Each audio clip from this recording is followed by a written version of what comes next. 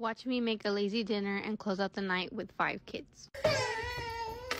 As you can see, my son and I were both going through something, but we got it figured out. My stove, your mama. Cutting open some weenies that I'm gonna pop in the microwave because I am lazy as hell. To the Kraft mac and cheese. Hell yeah. Move! What are you doing? Are you in a video? Trying.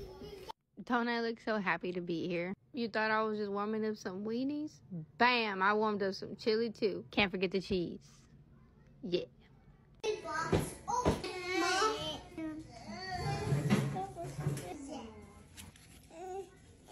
Finally got them all sitting down ready to eat. Poor Aizen was not with it.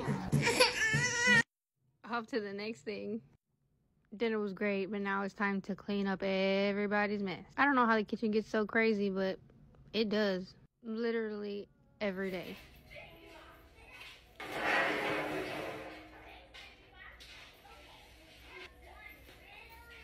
Here comes Asen trying to see what I'm doing. He loves digging in the dirt when I'm cleaning up. I don't know what his problem is. He's like, oh no, it's not ready yet. There it goes.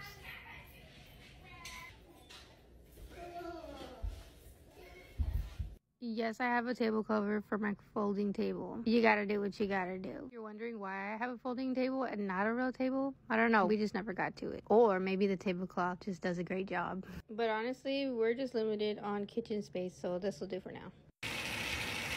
Now I'm just gonna get the little ones bathed and everybody ready for bed, but not without a little wrestling around first. Thanks for watching me power through the last three hours of the day. See you guys next time. Peace.